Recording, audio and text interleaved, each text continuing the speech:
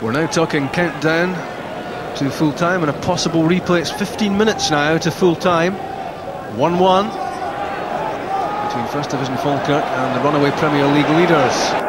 Lorenzo Amoruso may well think about the shot, does so! There's the goal! Rangers so desperately wanted. And it's the skipper, Amoruso. Only his second goal of the season, and that could be vital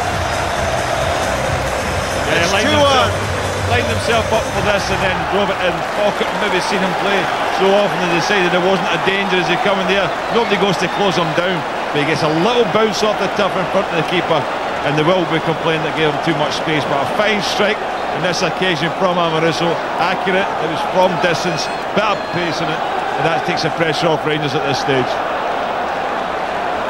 And a very dodgy stage for Rangers.